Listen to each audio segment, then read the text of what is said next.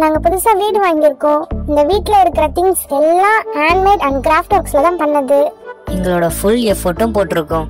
நீங்கள் எங்களுக்கு சப்போர்ட் பண்ண நினைச்சீங்கன்னா மறக்காம வீடியோவை சப்ஸ்கிரைப் பண்ணிட்டு பாருங்க.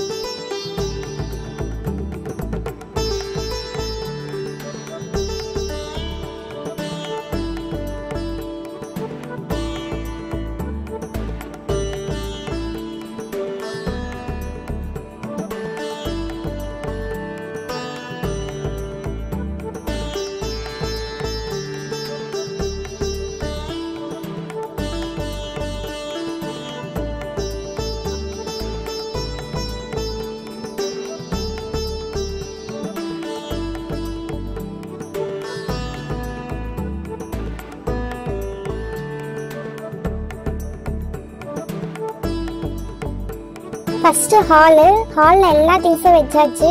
நெக்ஸ்ட் கிச்சன்ல போய் எல்லா திங்ஸும் வைக்கலாம் வாங்க.